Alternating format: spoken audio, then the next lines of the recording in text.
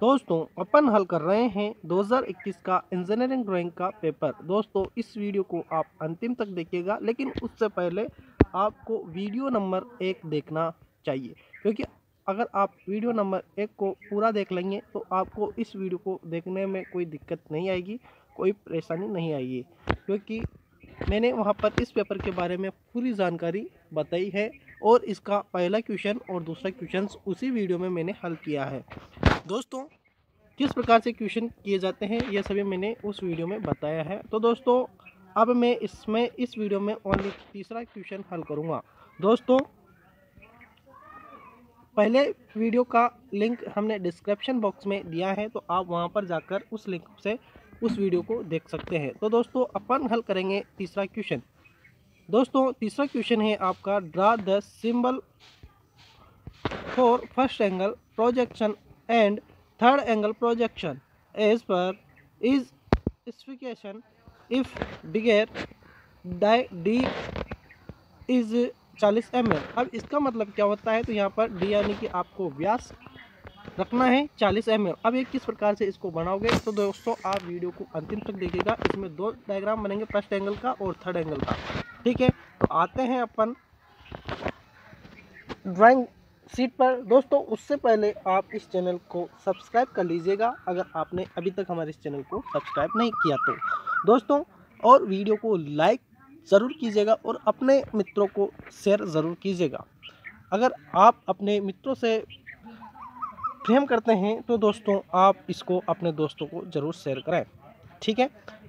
तो आते हैं ड्राइंग सीट पर। तो दोस्तों, आपके सामने है ये ड्राइंग सीट इस प्रकार की आपकी ड्राइंग सीट आएगी। मैंने इससे पहले वाले वीडियो में पूरा डिटेल से बता रखा है ड्राइंग सीट के बारे में। दोस्तों, यह अपना पहला क्वेश्चन था, जिसमें दो क्वेश्चन थे। पहले वाले में ए और बी जो दोनों के हल मैंने यहाँ पर करवा रखे हैं। उसी के साथ दूसरा था, जिसमें यह था, पूरा का पूरा प्रक्षेप वैसे का वैसे बनाना था, इसको किस प्रकार से बनाना था, वह भी मैंने वहाँ पर डिटेल्स में बताया है। अब अपन तीसरे क्वेश्चन को हल करेंगे, जो यहाँ पर हल करेंगे पूरे पेज में, ठीक है? तो इसमें किस प्रकार से अपन उसको हल करेंगे? तो दोस्तों, अपन को फ़र्स्ट एंगल और थर्ड एंगल बनाना है। तो दोस्तों, अपन इस ड्राइंग शीट का नीचे से शुरुआत करेंगे। तो पहले बनाएँगे अपन थर्ड एंगल फिर बनाएँगे अपन फ़र्स्ट एंगल अपन थर्ड एंगल पहले क्यों बना रहे हैं? तो बनाने के बाद आपको समझ में आ जाएगा। तो दोस्तों, अपन शुरुआत करते हैं यहाँ से। तो दोस्तों, इसके पहले देखिए, यहाँ से आपको नाप ले, लेनी है, ताकि अपन के बनाने में कोई दिक्कत ना आए। पहले इस साइड से अपन ऐसे नाप लेंगे। नाप लेंगे कितनी? तो अपन लेंगे यहाँ से तीन सेंटीमीटर ऊपर लेंगे, एक, दो और तीन। तीन सेंटीमीटर ऊपर लेंगे, यहाँ पर एक बिंदु लगा लेंगे।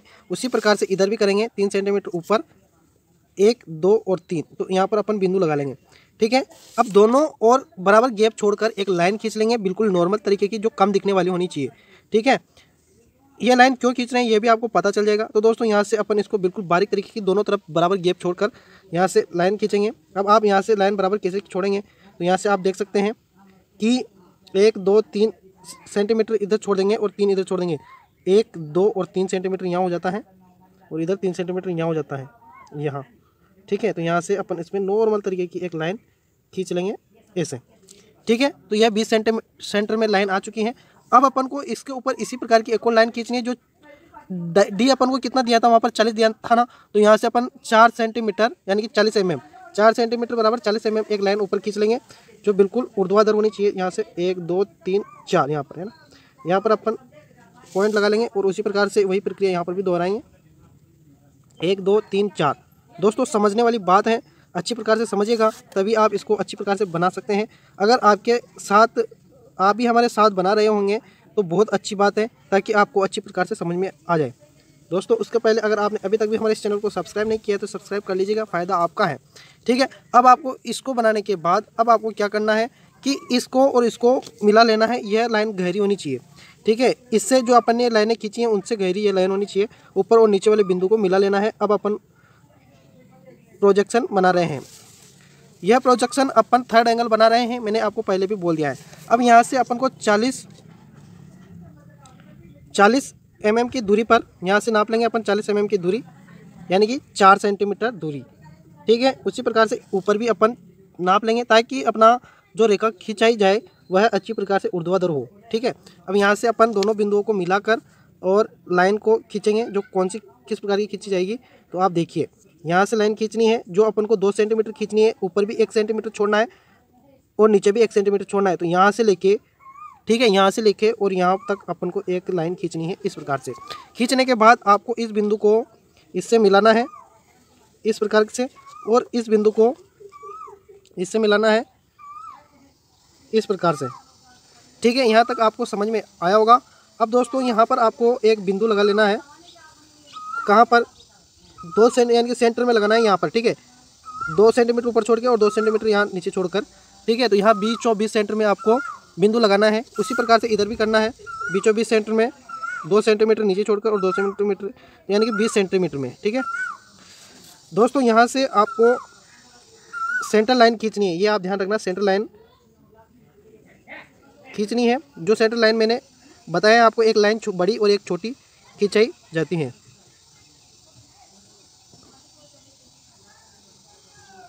इस प्रकार से आपको सेंटर लाइन खींचनी है, उसी अब दोस्तों सेंटर लाइन खींचने के बाद आपको करना क्या है? इस सेंटर लाइन के बाद आपको यहाँ से चालीस एम चालीस एम दूर एक बिंदु लगाना है। कहाँ से? तो यहाँ से चालीस एम दूर यहाँ पर बिंदु लगा लेना है।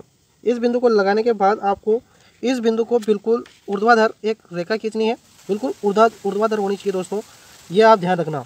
अगर ये ऊर्ध्वाधर नहीं हुई तो आपका गोले में मिस्टेक हो सकती हैं, जो कि दिक्कत देगा आगे। ठीक है? तो इस प्रकार से आपको एक और सेंटर लाइन खींचने के बाद आपको प्रकार का यूज़ करना है। प्रकार का यूज़ करने से अपन गोला बनाएँगे। गोला किस प्रकार से बनेगा वह मैं आपको बताऊँगा। दोस्तों, आपको यहाँ से लेकर प्रकार की नोक रखकर और यहाँ से यहाँ तक माप लेना है। यहाँ तक प्रकार को खोल लेना है। खोलने के बाद यहाँ से इधर होते हुए यह रेखा अगर आपकी छोटी पड़ जाए तो इसको आप लंबी कर सकते हैं, आगे बढ़ा सकते हैं, ये आप ध्यान रखना। छोटी रह जाए तो आगे बढ़ा सकते हैं इसको, कोई दिक्कत वाली बात नहीं है। सेंट्रल लाइन को आप आगे तक बढ़ा सकते हैं। वरना बहुत सारे की प्रॉब्लम आ जाएगी, बोलेंगे कि सर हमारे छोटी कैसे होगी? तो आप आगे बढ़ा लेना, कोई दिक्कत वाली बात नहीं है। ये गोला पूरा अच्छी प्रकार से आपको बना लेना है। ये बन गया। बनने के बाद आपको क्या करना है कि अब आपको प्रकार से फिर मापना है पैमाने से मापना है प्रकार को और एक सेंटीमीटर खोलना है। पहले अपन ने दो खोला था, ये आप ध्यान रखिएगा। वह नाप दो सेंटीमीटर का था। अब एक सेंटीमीटर का इस प्रकार से आपको खोलना है। ये आप ध्यान रखना, एक सेंटीमीटर का, ये, ठीक है? यहाँ से एक सेंटीमीटर खोलने के बाद इसमें एक सेंटीमीटर का आपको गोला बनाना है। तो जल्दी से एक सेंटीमीटर का आप गोला बना लीजिएगा इस प्रकार से।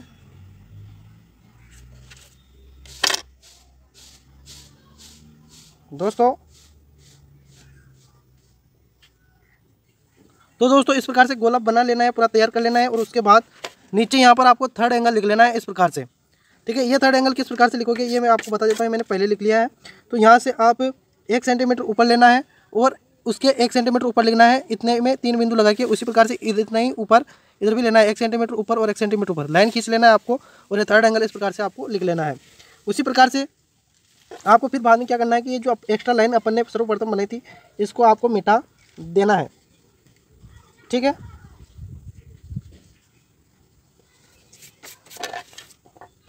तो दोस्तों आपका ये थर्ड एंगल प्रोजेक्शन बनकर तैयार है जो सिंबल्स था थर्ड एंगल का वह बन चुका है। अब आते हैं अपन फ़र्स्ट एंगल पर। नाप ले लेते हैं बिल्कुल बराबर सेंटर में लेनी है। तो यहाँ से अपन वापस से नाप लेंगे इसके टच में से लेंगे बराबर अच्छी प्रकार से। तो अपन इसको ग्यारह ग्यारह सेंटीमीटर ऊपर ले ले सक, ले सकते हैं। आप अपने हिसाब से भी ले सकते हैं कोई दिक्कत वाली बात नहीं ले चलिए ग्यारह ले लेते हैं ठीक है? अपने हिसाब से सहूलियत के हिसाब से देख लेना ग्यारह। यहाँ तक इसके टच नहीं होना चाहिए सबसे बड़ी बात ये होती है। अब अपन यहाँ से भी टच में लेंगे, ग्यारह। यहाँ से, है ना? लेने के बाद आपको एक बारीक लाइन खींच लेनी है यहाँ पर भी। उसी प्रकार से।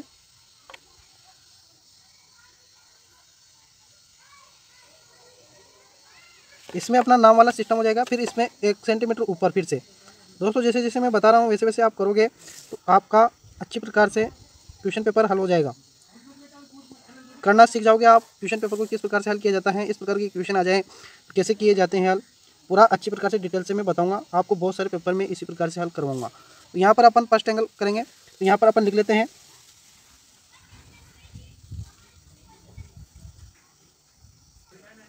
फ़र्स्ट एंगल, ठीक है? ये फ़र्स्ट एंगल यहाँ पर लिख दिया है। अब इससे आपको एक सेंटीमीटर ऊपर ले लेना है। इसके भी ऊपर एक सेंटीमीटर लेना है आपको।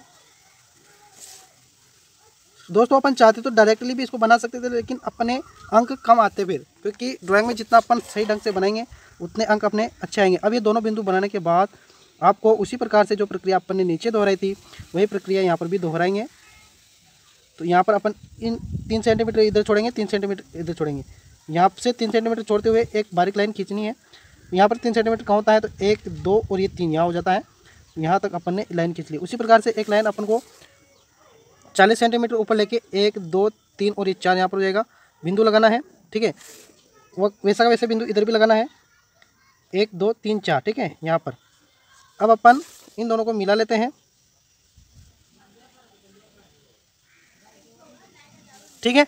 अब अपन को जो बनाना था, फ़र्स्ट एंगल, उसको कैसे बनाएँगे, आप ध्यान से देखिएगा। दोस्तों, इसमें थोड़ा बहुत बदलाव होगा, जो कैसे होगा, अब आपको पता चलेगा, जैसे आप सवाल करते रहेंगे। तो दोस्तों, यहाँ से आपको क्या करना है कि तो दोस्तों, आपको करना क्या है कि यहाँ जो इधर लाइन खींची थी, वह अपन इधर खींचेंगे और ये गोला इधर बनाएँगे। जो गोला बनाया था पहले, वह इस साइड में अपन बनाएँगे। तो दोस्तों, यहाँ से अपन को एक सेंटीमीटर ऊपर छोड़ना है, एक सेंटीमीटर नीचे छोड़ना है, यानी कि एक बिंदु यहाँ लगाना है। एक बिंदु यहाँ लगाना है और दोनों को मिला लेना है इस प्रकार से। तो इधर यहाँ पर इस प्रकार की लाइन बनेगी।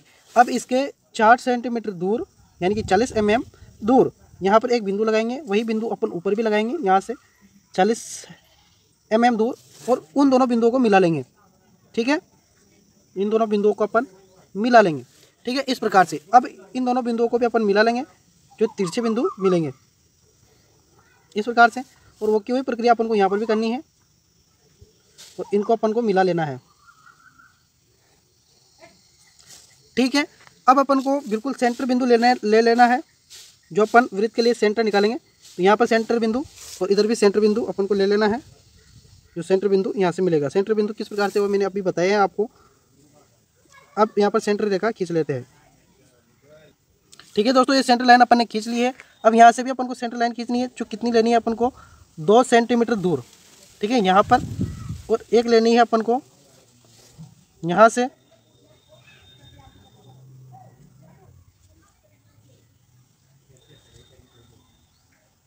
यहाँ तक। तो दोस्तों, इसके बाद आपको क्या करना है कि यहाँ से उसी प्रकार अपन को 40 एम mm दूरी फिर लेनी है। यहाँ से यहाँ तक 40 एम mm दूरी लेनी है।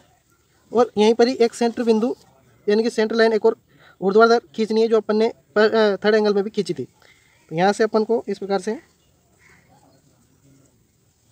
खींच लेनी है।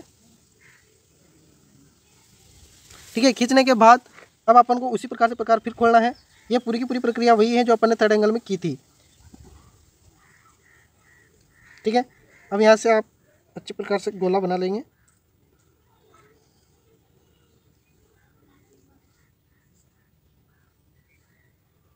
दोस्तों, एक बात मैंने बोली थी आपको थर्ड एंगल गोला बनाते हुए भी, कि अगर ये लाइन छोटी पड़ जाती है तो इसको आप आगे बढ़ा सकते हैं। कोई दिक्कत वाली बात यहाँ पर नहीं है, ठीक है? इस प्रकार से आगे बढ़ा सकते हैं आप।